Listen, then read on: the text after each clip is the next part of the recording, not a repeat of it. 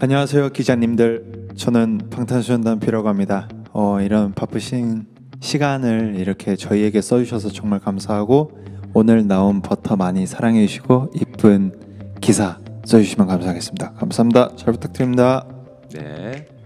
어 일단은 저희가 보이진 않지만 정말 열심히 많이 스케줄을 진행했고 그리고 앨범도 작업을 많이 하고 있고 어, 네 그렇게 보냈습니다.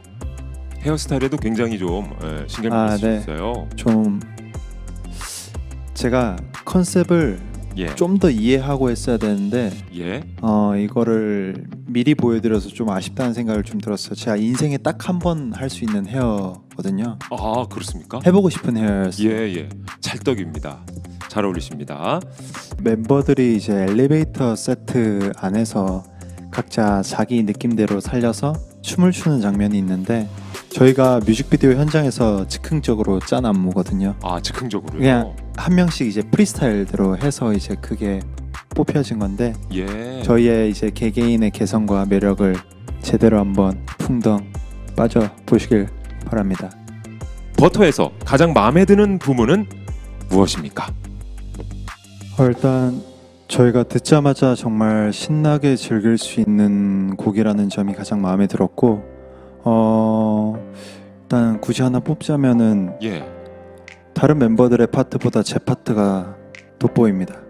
아 B 씨의 파트. 좋습니다. 예. 제 파트가 그렇죠. Smooth like butter. 어 그건가요? 아, 예 맞아요. 어, 호응해 주셔서 고맙습니다. 다음 달이면 8주년인데 좀 8주년 앞둔 소회와 요즘 방탄소년단 멤버들 사이에서의 최대 화두는 무엇인지 말씀 부탁드립니다. 네. 네 8주년 그리고 아 예. 지민 씨가 이어서 얘기해 주시죠. 어 아닙니다 아닙니다 말씀하십시오. 아 그래요? 그럼 제가 한번 아 일단 8주년은 아 이게 정말 너무 기분 좋고 이제 뜻깊은 저희 8주년이지만은 아쉬운 것 같아요. 저희의 페스타라는 거대한 이제 아미들을 위한 이벤트가 있는데 오프라인으로 인해서 저희들이 보여주지 못하는 점과 그리고 아직까지 못 보여드린 무대가 너무 많다 보니까 이제 지금 요즘 코로나 상황 때문에 작년에도 그렇고 올해도 그렇고 아미들을 못 보고 저희끼리 이벤트를 진행을 해야 한다는 게 참 슬픈 것 같습니다. 그리고 그래도 열심히 해보려고요. 그리고 마지막 최대 화두 예. 멤버들 간에요.